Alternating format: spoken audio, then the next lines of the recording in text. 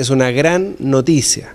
que podamos ejecutar definitivamente los tres consultorios de Coquimbo, el consultorio de San Juan, de Pan de Azúcar y el segundo de Tierra Blanca y también el tercer consultorio urbano de Ovalle que va a estar en la población Fray Jorge, que va a cubrir todo el sector de la parte baja de Ovalle y que al mismo tiempo nos ha confirmado el ministro que se va a llamar a licitación por la construcción del nuevo hospital de Ovalle a fines de este año 2014 y también, por cierto, el CDT del Hospital de La Serena. Y por eso es tan importante la presencia en esta reunión del presidente del Consejo Regional, José Montoya, el presidente de la Comisión de Salud, eh, Eduardo Alcayaga, junto con nuestro alcalde de Coquimbo, nuestro director del servicio, porque también eso va a permitir liberar recursos del gobierno regional que podrán ser destinados a los estudios, a los diseños del resto de los hospitales y también para el CDT del Hospital de La Serena. Efectivamente,